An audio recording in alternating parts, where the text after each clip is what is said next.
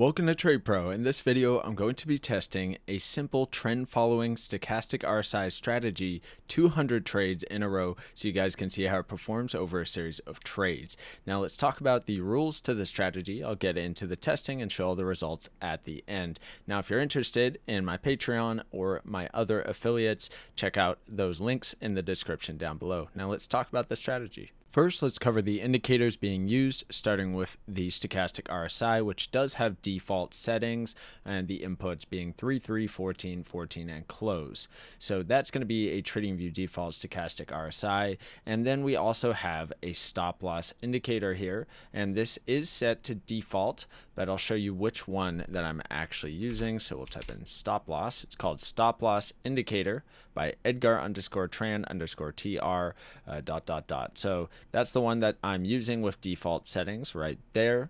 And then I'm also using the Trade Pro rejection zone indicator, which you can type in rejection zone and Trade Pro rejection zone indicator. Essentially with this one, it's just a 50 period and a 20 period exponential moving average. And what's happening with it is it's just shading in the area between those two EMAs. So if the 20 period EMA is below the 50 period EMA, the cloud will be red. And if the 20 is over the 50, it's going to be a green cloud.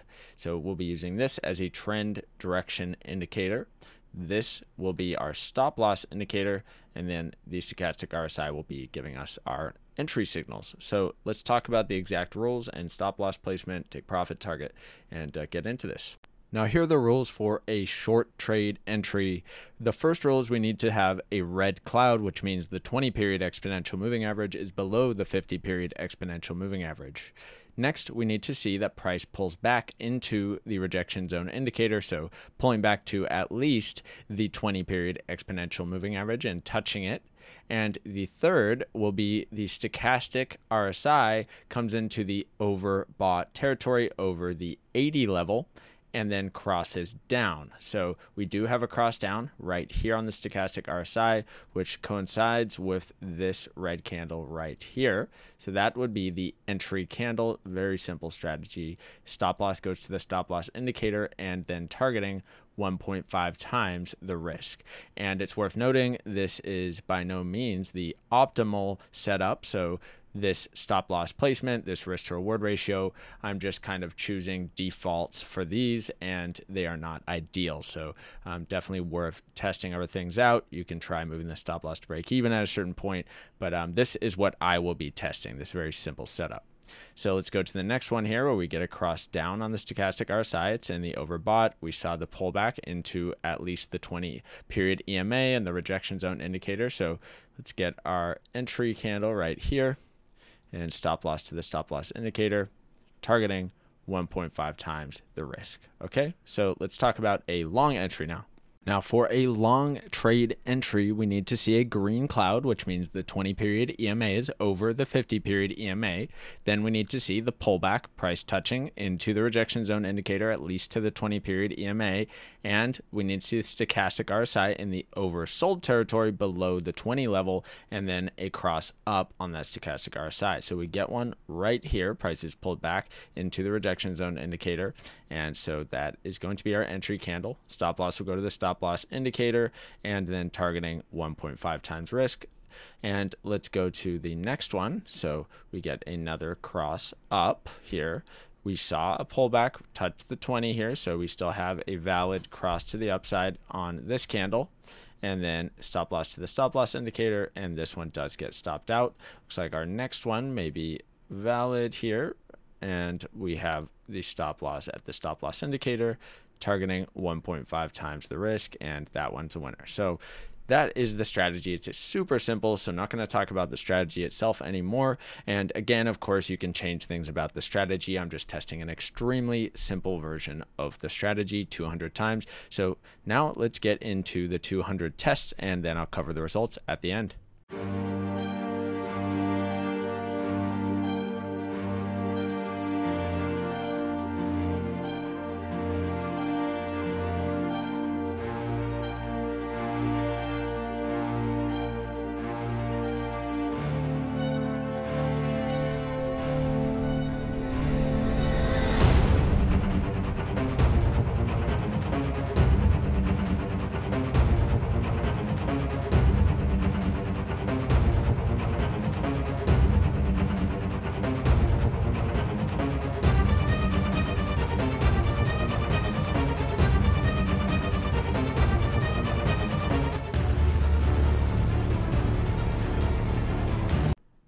Right, the results are in after the 200 backtested trade, so let's cover it. This was tested on Bitcoin against the US dollar on a one hour time frame using a 1 to 1.5 risk to reward ratio.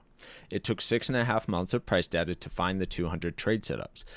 Out of those, there were 95 winning trades, 105 losing trades, which gives it a 47.5% win rate. The most wins in a row was 10, and the most losses in a row was 12. The gain on the account was 37.5%, assuming the risk of 1% of account equity per trade and non compounding. So let's cover, you know, kind of how this stacks up to others by putting it on the spreadsheet. It does a decent job. A 47.5% win rate with a 1 to 1.5 risk to reward ratio is not bad. It's not good. Um, and I'd say it's pretty much expected from this type of simple strategy. So let's put it on the uh, strategy ranking spreadsheet and see how it compares. Okay, here it is on the strategy ranking spreadsheet, falling at spot number 65 out of 84 strategies tested on my channel so far. So it's not doing very well, kind of falling in that lower range of tests here. And I did cut that gain on the account figure in half because all of these are based on 100 tests. And I tested this one 200 times. So just simply cut it in half to be fair with all these other ones. Um, now, what we can do is kind of compare a 1 to 1.5 risk to reward ratio with a 47. 1.5% win rate.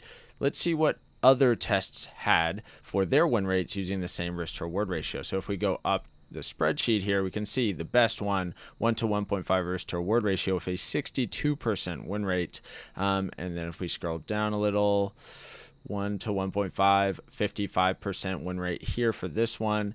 Um, and let's find one more, 53% win rate for this one. So it didn't do very well for a 1 to 1.5 risk to reward ratio test, although it did still show profitability over a series of 200 trades. And of course, 200 tests is much better than just 100, so this may be a bit more of an accurate test, um, but nonetheless, not doing very well compared to the others that I have tested. Um, so it's not going to be one of those ones that I would look really much farther into, but I do think that the simplicity is nice. Potentially being able to move the stop loss to break even using a different method of placing the stop loss um, and uh, maybe a different profit target or multi stage take profit, something you know where we can improve the results by changing these other little parts of the strategy um, may be beneficial. So, um, not to write it off completely, but not doing all that great in this specific test. Okay, so that is going to conclude this video.